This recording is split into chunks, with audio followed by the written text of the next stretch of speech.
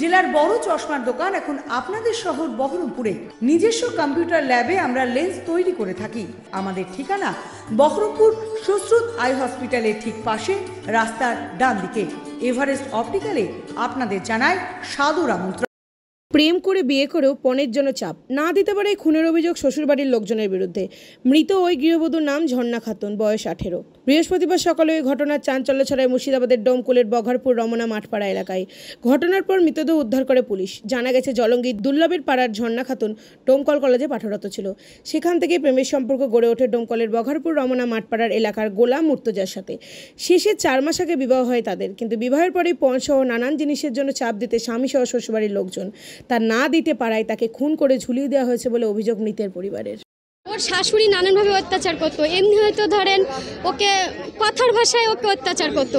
মারা ধরা এইটা আমরা বুঝতে পারতাম না। কিন্তু ওর আব্বা ধরেন গরিব মানুষ, দিবে সব কিছুই দেনা পাও না আস্তে আস্তে কিন্তু ওর শাশুড়ি এখনই চাই এই কথা বলে ওকে। বলে যে মোটর সাইকেল দিতে হবে, আবার ঘরের জিনিসপত্র দিতে হবে এইসব বলে ওকে সবসময় ঘিতায়। তাহলে তুমি কতক্ষণ সহ্য করবে এইসব আমাদেরকে ভোরবেলায় ফোন করছে, বলছে ঝর্ণা হচ্ছে, মারা গেছে, তাই বলছে।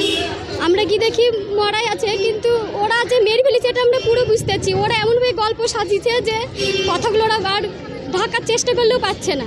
বলছে যে দরজা ভেঙে বের করেছে, কিন্তু দরজা ভাঙার কোনো চিহ্ন নাই, ফ্যানের কোনো চিহ্ন নাই।